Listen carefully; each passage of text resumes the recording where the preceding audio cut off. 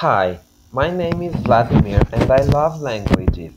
I'm applying to become a member of HYPIA, the International Association of Hyperpolyglots.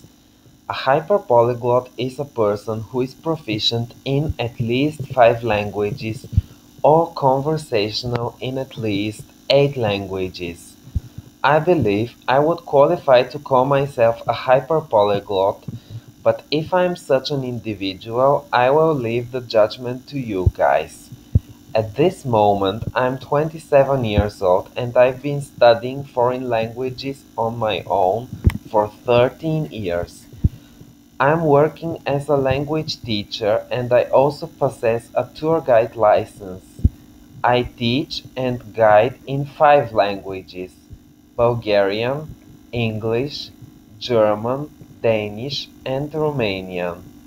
I'm also a student and currently I'm about to finish my master's degree in Balkan Studies at Sofia University.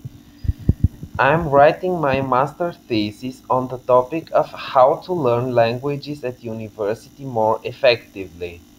Based on my personal experience, both as a language student and as a teacher, I'm 100% convinced that anybody can learn a new language, regardless of their age, location, or their previous experience. The challenge of my study program is that we have to learn three languages Romanian, Albanian, and Greek. And besides, we are also quite busy studying various subjects like history, literatures of all Balkan countries, linguistics, and many more, not to mention that many of us also need to work part-time. But in spite of all these difficulties, I firmly believe that anybody can complete the program with fluency in all three languages, or easier said, anybody can learn three languages in five years while also studying full-time.